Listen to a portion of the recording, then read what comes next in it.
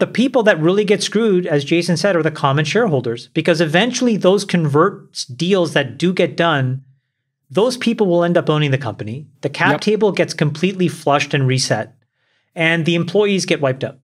And, and on top of that, you have to factor in these much higher rates. And so these building owners, if they financed it, which they invariably have always financed, they have huge variable rate payments that are due on these buildings. The rent rolls are lower. Even people like Twitter is just refusing to pay the rent. As we look back on 2022, it's clear that it was a year of significant challenges for startups, especially those in tech and cryptocurrencies, with a number of high profile bankruptcies. As we move into 2023, it's important to be aware that the economic landscape may continue to be challenging for these young companies. Chamath Palihapitiya will be providing expert insights and analysis to help you to understand the implications for your business or investments. Join us as we navigate this ever changing landscape together. If you've not subscribed, do so now and start enjoying our quality analysis. At the end of Q4, I did five deals and four were pro ratas, one was a new deal. And they were all clean markups. So the four deals that other people put money into. And I was looking at them and I was trying to figure out, okay, what differentiates these things? And Freeberg, to your point, these were super clean startups with very clean cap tables that had clear progress. And then conversely, I had seven converts showed to me for companies whose valuations were anywhere between three and I would say 12 billion.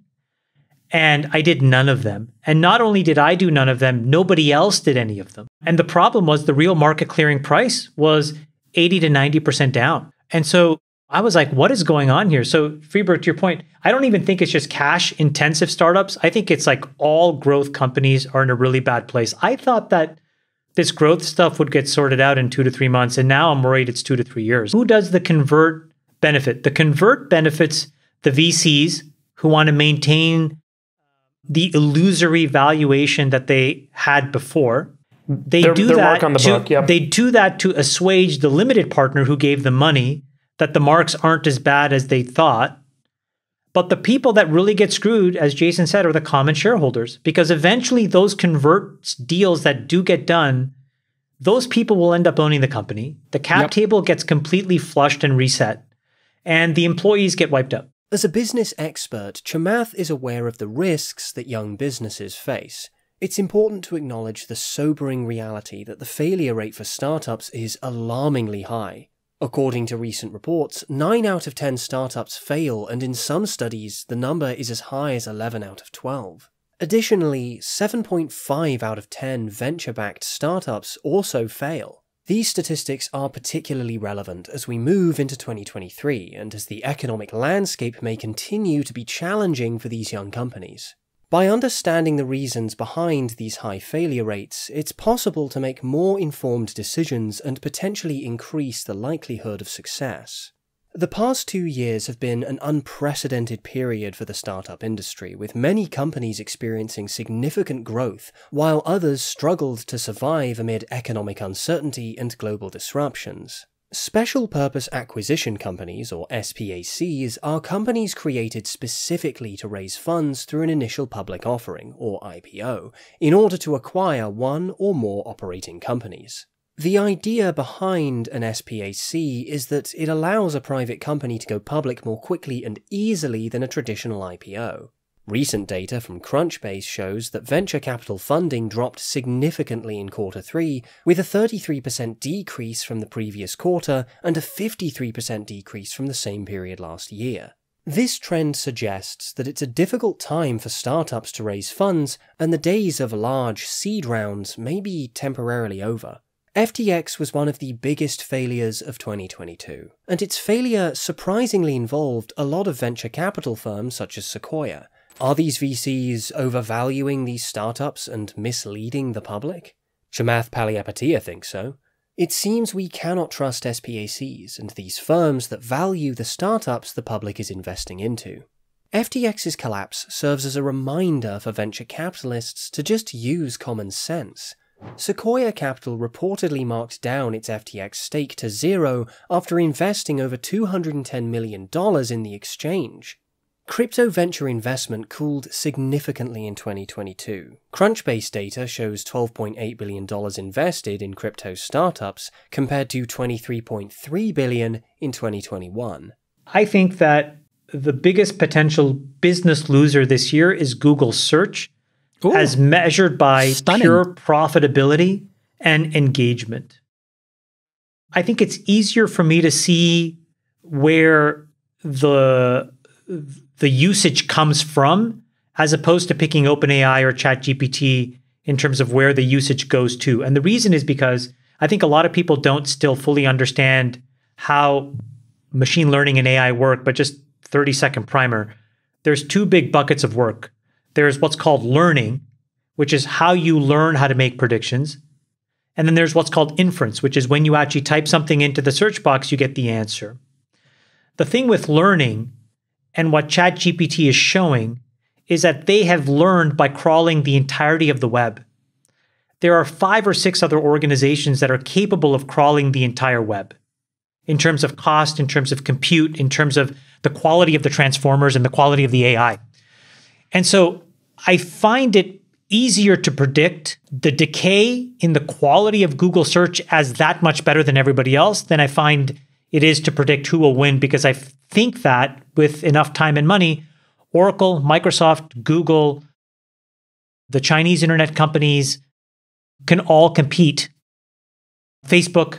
And so I think that you'll converge on the same training, which will lead to the same inference. And so I think consumers end up getting confused and will end up being able to get high quality search results from many places versus today you know, you would only think that Google is the only game in town, quite honestly, for most people.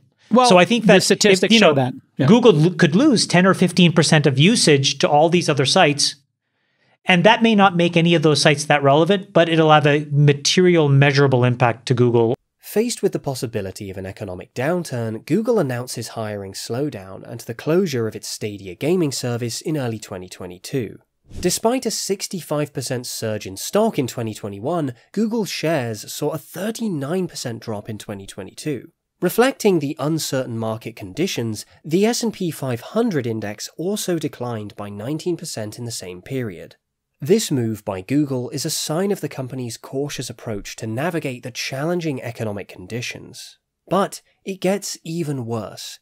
New innovations are a big threat to major companies like Google.